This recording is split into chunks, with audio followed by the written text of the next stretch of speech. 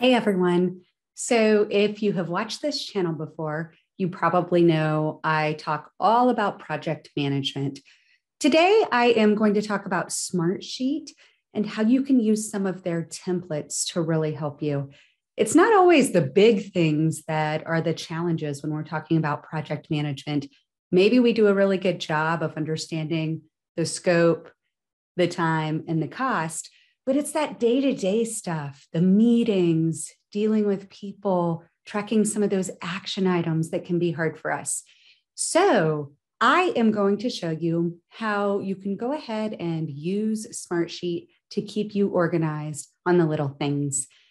I'm Kandis Porter, and I'm glad that you are here. If you are not following this channel, please click the little bell and subscribe. We've got a lot of great videos that will be coming out in the near future.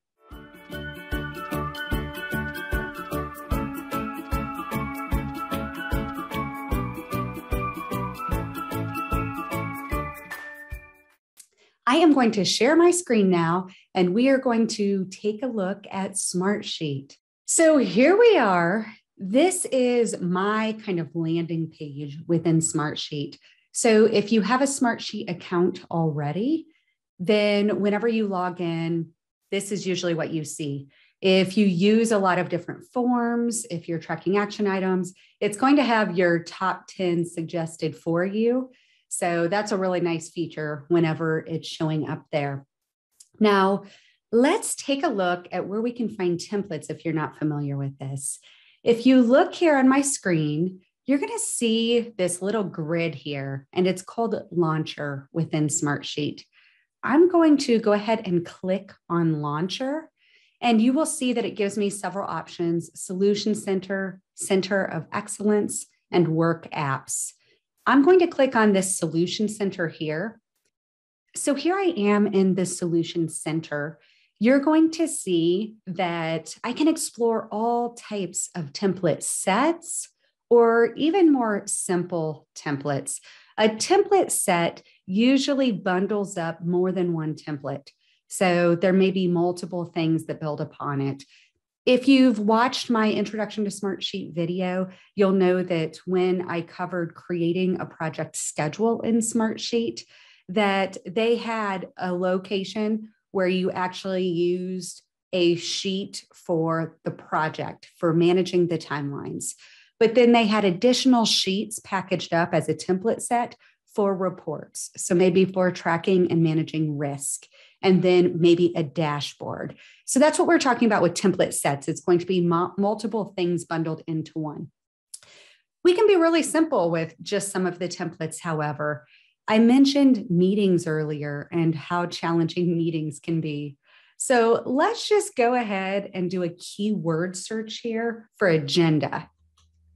If I search agenda, you're going to see here they've got several options. So formal design review agenda, meeting agenda, um, all types of things here that I can select from. I want to focus on a meeting agenda. Let's say we're going to hold a project team meeting. So I'm going to click on this. You're going to see it gives me a description, and this is pretty similar on any template that you will select. You can read it, see if it meets your needs, and then you can click use if you decide that you do want to work with it it is going to automatically pop up and have a default to save in your sheets. And so that's a great place. I'm just going to go ahead and click save there. If you wanted to save it into a specific folder or a different location, you can browse, and that's going to give you the options for your different workspaces. So let's go ahead and click save here. And then it's going to open it up for us so that we could take a look at it. So you'll see this is all just default information, it's mock data so that it shows you how to fill it out pretty much. So, where the different bits of information go. It automatically opens up conversations here on the side. So, if you are working with a team and you are all using Smartsheet, you can always tag people on the comments here, ask them a question, and they should receive a notification. So, that's what that conversations piece is over here. I'm going to close that out. But if you wanted to go back to it and open it up, you could again click on conversations here. Now, let's get into a little bit about the meeting details. For the meeting details, we have the name of the meeting, we have the purpose of the meeting, we've got the date, goals. I'd be as specific as possible on the goals. You know, what do you want to accomplish in this meeting? If there is a specific decision that needs to be made, I would go ahead and enter it there as well. And then, you know, where's the location? I wish I was going to be meeting in the Hawaiian Convention Center. that sounds wonderful right now. Then you start to see down below, you've got your meeting agenda items. Just like you can use the parent child task in the project, you can actually have sub agenda items in here as well, where you could roll them all up under the agenda item. So maybe if you have two or three bullets that you want to cover under one particular agenda item, you could go ahead and add them as sub agenda items. You could add the description and an owner. This is a priority. It defaults to a priority column with high, medium, and low. We've got the start and end time. Now, as a project manager, you've got to be good at managing meetings and you want to follow the agenda. We don't want to have six or seven important agenda items and only get through the top two. So, this is important. Start and end time and make sure that you honor it. That's a key thing here. It's got some spots down below where you can add actions for follow up, best practice. We come up with a really specific action, a due date, and an owner. So we're really clear on who is doing what out of the meeting. You can also track attendees here. And that way, you know who was in the room when maybe decisions were made, when action items um, came about. Just a few other things. You can always add attachments to each of these agenda items. So if you want to add an attachment, maybe this sub agenda item, I can click on this little paper clip here. And if I click on that, it's going to give me the option to attach a file. And that file will be associated with the row number.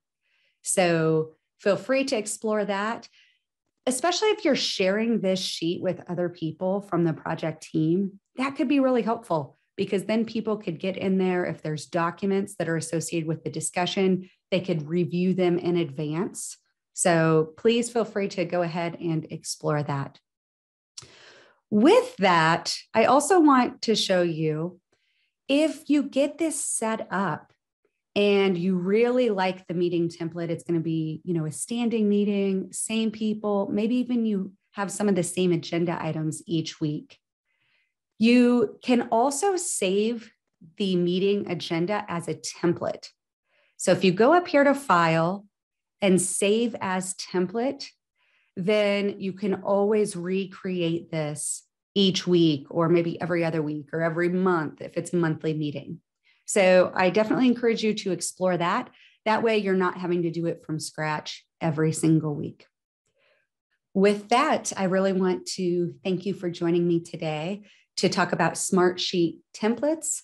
We also talked about the importance of managing meetings as a project manager don't forget to set that agenda, share it in advance, honor the times on the agenda so you get through all your important items. Make sure you're tracking those action items. And if you can share this in advance with any attachments or any information that people need to review, it's a really easy way to do it. Also, it could save you time saving it as a template. So feel free to explore that. Thank you again for being here with me. I'm Kandis Porter, and I hope to see you again soon. Bye bye.